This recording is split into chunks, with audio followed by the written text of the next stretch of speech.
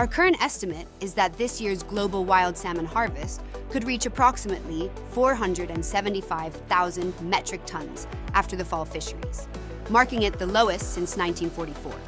This would translate to over 600,000 metric tons less salmon than the global harvest last year.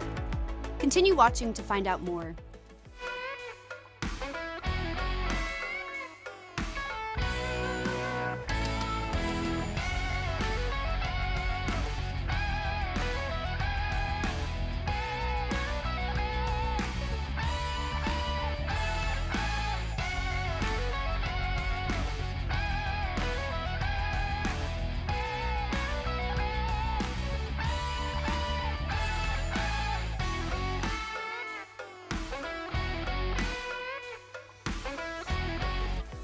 The summer salmon season for Alaska and Russia is essentially over with both countries seeing record lows, both realizing only about 70% of their forecast. For Alaska, less than 100 million salmon have been landed, which is 132 million less than last year and would be the lowest for Alaska since 1988. All salmon species in Alaska were reported smaller in size this year. Looking at 2023 data, coho, pink, chum, and king salmon all averaged smaller than both 5 and 10 year averages, whereas sockeye on average was actually slightly higher than both 5 and 10 year averages.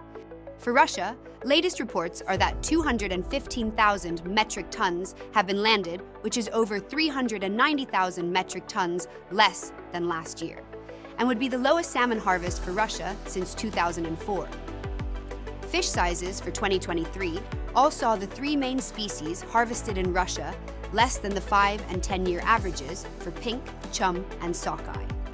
The last large salmon fishery for the year is the fall Hokkaido chum salmon fishery, and the latest pulse is that the season is off to a very slow start.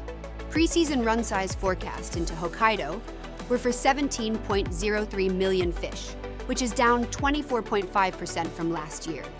Last year, about 60,000 metric tons of chum salmon were harvested in Japan from about 19.4 million fish, which is below both 5 and 10 year averages. Regarding the salmon fisheries in British Columbia, Canada, and Washington state, while their harvests don't significantly impact global supplies, they collectively produced approximately 9,000 metric tons last year. On the market side, sockeye, chum, and pink salmon are exceptionally short, and pricing is seeing upward pressures accordingly with limited supply. Our recommendation is to buy what you can for your needs for fish. You need to last you until the end of next summer.